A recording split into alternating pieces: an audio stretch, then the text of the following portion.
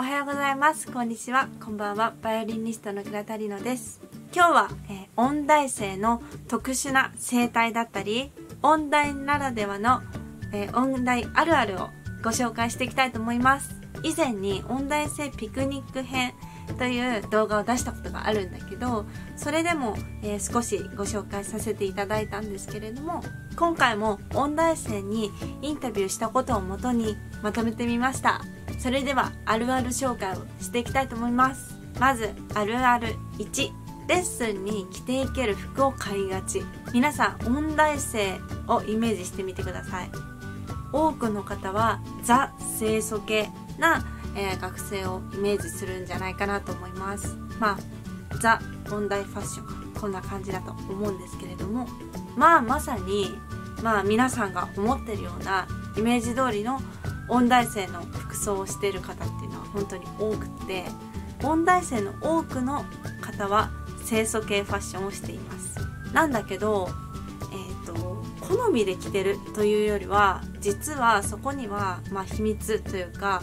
理由があるんですよね。その理由っていうのが音大生は服を買う時にねこうレッスンに着ていけるか着ていけないかみたいなそれ基準で、えー、服を決めることっていうのが多いんです。もちろんもともとそういうねあの清楚系のファッションが好きで着ているっていうことももちろんあるんですけれどもでも、まあ、私もそうだけど、まあ、レッスンに行く時の格好っていうのが本当にあって尊敬する師匠がいるっていう話を、えー、前したと思うんですけれどもその尊敬する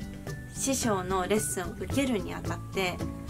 極力こう失礼のない格好っていうものがあると思うんですけどそれを意識して買うんですよねそれの結果、まあ、いわゆるこう清楚系といいますかお嬢様系みたいなのを結局買ってしまうということになってるんです。これはもちろん、えーと、楽器の種類だったり文化の特徴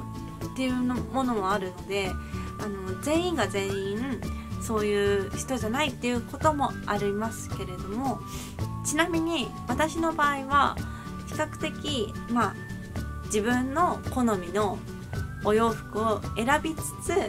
あんまり奇抜にならないような服を選んだりとかはしてました。まあでもどちらかというとまあ好みのお洋服を、まあ、着てるなっていう印象を多分先生からしたら持たれたかもしれないですね。でもやっぱり先生のお家にお伺いするっていうことがあの多かったのでまあなる本当に失礼がない程度の、えー、好みの服を着てるっていう感じが多かったかな。特にあの例えば伴奏合わせをするとかピアノの先生のお宅に、えー、お伺いするとかそういう時とかはやっぱ絶対ワンピースがいいかなとか結構考えてましたね。じゃあ2つ目いきます。2つ目。音大にはサークルが存在しませんまあ細かく言うと、えー、私が通っていた東邦音楽大学にはサークルが存在しないです大学生活っていうと大学生活イコールサークル活動みたいに思う方が、まあ、多いと思うんですけれども、まあ、そのぐらいキャンパスライフっていうのをあの楽しむことの一つにあのサークル活動っていうのは入ると思うんですよね。その重要なあの要素が東方にはなくってサークルっていうものが存在しないんですよ。もちろん音大の中にも、えー、豊富にねサークルがあるっていう音楽大学もあるんですけれども先ほども言ったように、まあ、私の大学には一つもなかったです。まあ、サークルにどうしても入りたい場合っていうのはインカレサークルって言って多大の大学のサークルに入ったりとかもあるとは思うんですけれどもやっぱりそれに入る時間もないぐらい忙しいので音大生は。まあほとんどの方が入っていなくて、まあ、ずっと音楽漬けの日々を送っているって感じですね。どんな感じで忙しいかっていうと授業外の空き時間といいますか、まあ、朝起きて寝るまでの時間はもう授業外以外はずっと練習か先生のレッスンを受けに行くか、まあ、課題を終わらせたりとかするかそれ以外に室内楽の合わせだったりとか、まあ、バイオリンとピアノで言ったら伴奏合わせって言ってそのピアノと合わせたりする時間だったりバイオリンだったらオーケストラの練習をしたりオーケストラの、え授業を受けたりとかね本当に大変なんですよ。もう音楽のことで頭がいっぱいであのそれ以外をする余裕がないぐらい本当に忙しい日々を音大生は送ってます。であの学生の頃から本番が多い、えー、方が、まあ、東邦学園は本当に多かったのででその学生の時からもう活躍してる人も多いので本当にこう遊ぶ暇っていうのがほぼないような感じで皆さん勉強とあの練習とって励んでる感じですね。じゃあ最後。3番目は直行直帰で、えー、練習時間を死守する。なんですけれども一般的には、うん、大学生活って言ったら人生の夏休みみたいな言い方をされる方も、えー、いるじゃないですか。そのぐらいやっぱりその大学生活っていうのは一番人生の中で遊んでいいみたいな、まあ、風潮というかみたいなのあると思うんですけれども音大生は本当にストイックな毎日を過ごしているので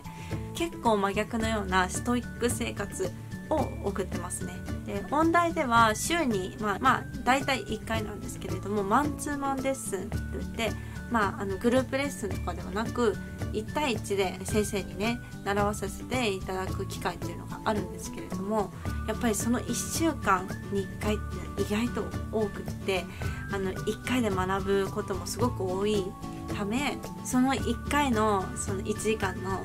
レッスンを受けた後っていうのはその次の週に課された課題っていうのが絶対にできていなきゃいけないのでもう毎週その1週間次の1週間次の1週間っていうのが4年間続くんですけれどもその4年間ずっとが本当に毎週毎週勝負みたいな感じになってるんですよ。なので1週間のレッスンが終わったら次の1週間っていうのがもうすぐ来るのでまあそのサイクルがずっと作られてるっていう感じになりますね。ということは休みがないっていうことになるんですけれどもそのぐらいやっぱ忙しいですね。それにプラスしてコンクール時期だったりとかあの自分のね本番を、えー、コンサートとかもね控えている時はこう自分をね追い込んでいかないといけないのでもう友達と遊ぶ時間っていうのは本当になくなっていって大学生なのでそういう気持ちがあるんですけれどもその気持ちを本当ぐっと押し殺して本当は遊びたい時間みたいなのを練習時間に全部変えていったかなっていう感じですね。やっぱり絶対にストイックに練習をしていかないと本番だったりコンサートっていうのはあの迎えれないものなんですよ。なので周りの友達もやっぱりそういう風に常に本番の時期もそれぞれ違うのでこう4人とかで遊べる日っていうのが本当になかったりするんですよ。音大生同士で。2人ならまだいいけどとかいう時もありました。ということで今日は音大生の特殊な生態と音大あるあるを、えー、ご紹介してみました。もちろんあの各音大によってあのカラーも違うので異なる場合もあるかとは思うんですけれども私たちは音大生だったのでそこの周りで起こっていることっていうのが当たり前に思っていたので結構ね自覚なくやっていることとかが多すぎて逆にあるあるって分かんなかったりするぐらいなんですけれども、まあ、一般的な大学生に比べると本当にあのこの人たちすごい変わってるねみたいな風に思うんじゃないかなっていうのを、まあ、考えてみたら見つかったので今日はちょっとご紹介してみました。もしあの音大生のお友達が周りにいたら付き合い悪いなみたいな風にはあんまり思わずにまあそれぐらい忙しい生活を送ってるんだねみたいな風にちょっと理解をしてあげるとその音大生は理解があっていいなっていう風に優しいなっていう風に思うと思います。それではまた次回もお楽しみに。バイバーイ。本日も最後までご視聴いただきありがとうございます。私はバイオリン講師としても活動しております。オンラインレッスンも受け付けておりますのでお気軽にお申し込みください。詳しくは無料相談を行っていますので概要欄にあるウェブサイトよりお問い合わせください。チャンネル登録グッドボタンよろしくお願いいたします。